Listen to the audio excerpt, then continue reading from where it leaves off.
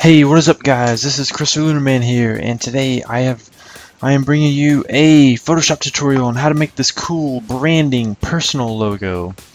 Um, well, personal logo branding, personal branding logo, yeah.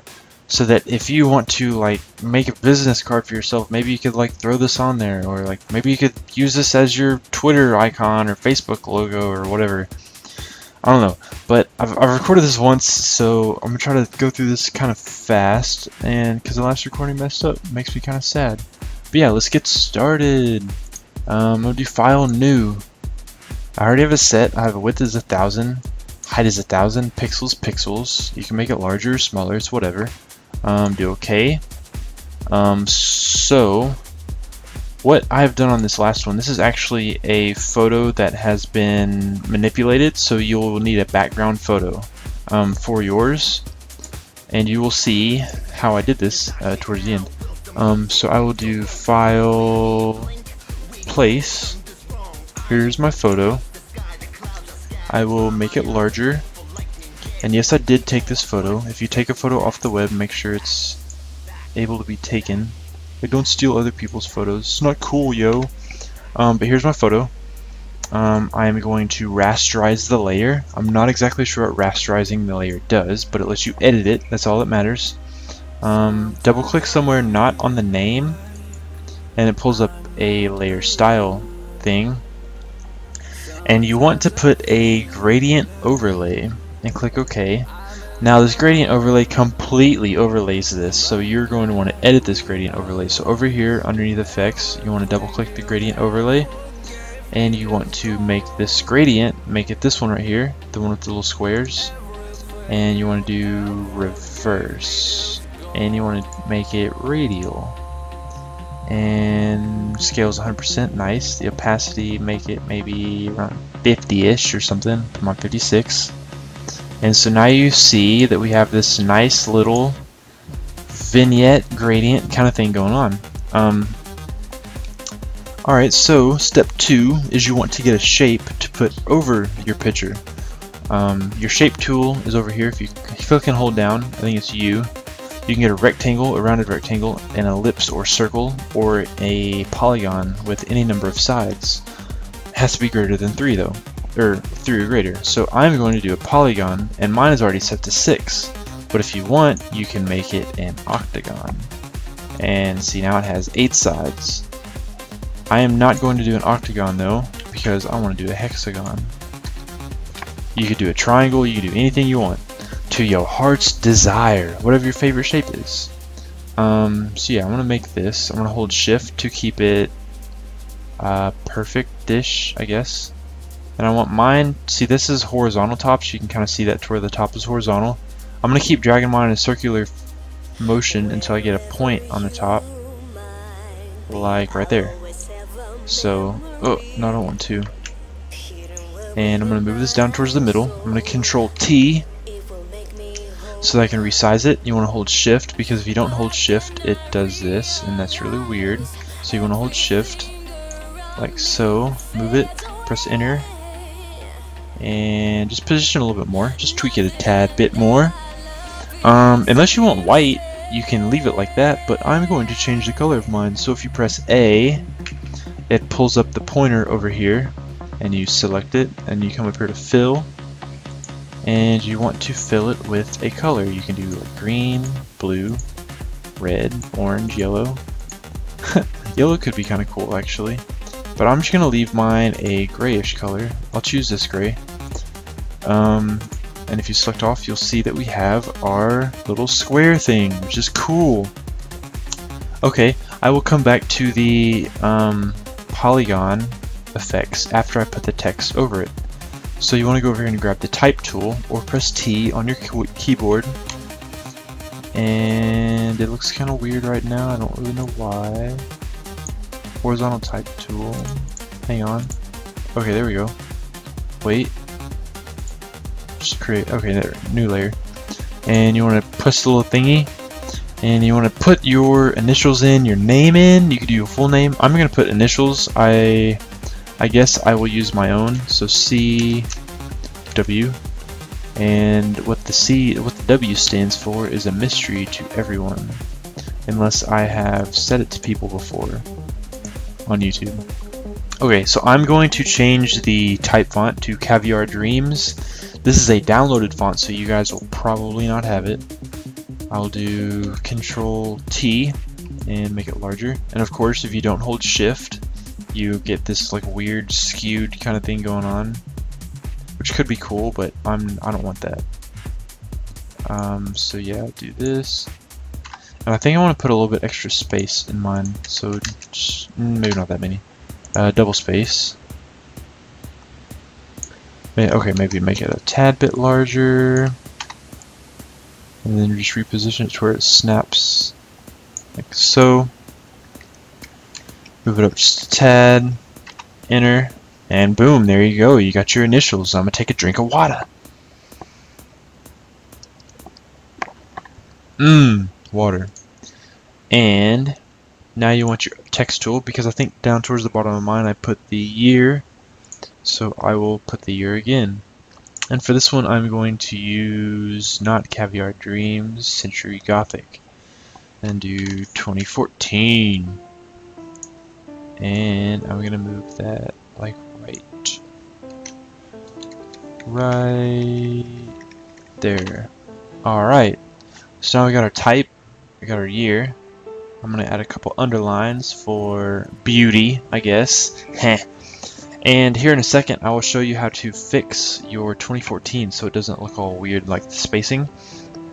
I'll do that. Well actually no I'll do that first. Um, and what this is is this is called kerning um, I do believe.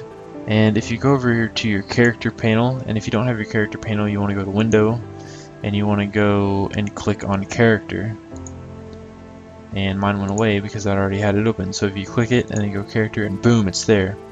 So I want to select the 2, and what I want to do is I want to make this larger, or make it bigger. I think I'm just going to do a 0, like so. And then I'll select the actually they're like already kerned but see what happened is is that if you place them all to zero which I will do hang on just a second. These are like preset or something. Um, you'll see how the 2 and the 0 are close together but the 0 and the 1 are farther apart and the 1 and the 4 are farther apart. So to me this just looks weird. So to make it more like um, uniform I'm going to change this. And I'm going to make it negative 100 to move them closer. And I will make this one negative 100 to also move it closer. And there we go now I will add the underlines so you want to go to your shape tool and then uh, click it and hold down your clicker until you get to the line tool there you go and whenever you draw your line um, for this first line I want it to be 3 pixels and whenever you draw it, you're going to want to hold shift so that the line is like not all weird. So if you hold shift, it's straight. So there's that line. And I have it white. You can change the color by selecting your pointer and selecting a line and going period like blue. It's kind of weird. I'm just going to leave mine white though. Alright, so I'm going to select this and move it up a little bit. Maybe move it to the left. Like so. Looks alright. Yep. And I will make another line for the 2014. And actually, I want to make this one 2 pixels.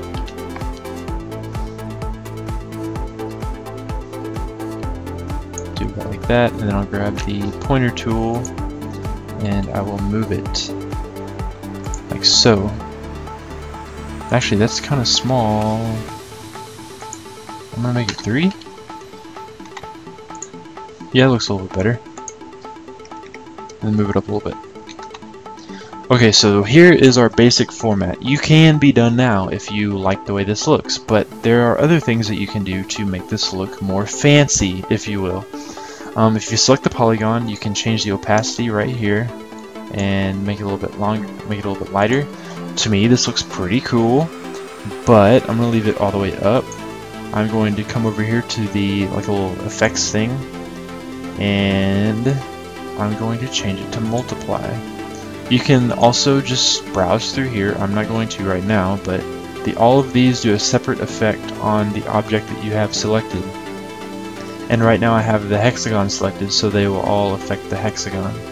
Like just another one, for instance, do color burn. See, it changes the hexagon. But I'm going to leave it on multiply. And so now we have this, so that's basically done. And I'm noticing... Okay, never mind, never mind. Um,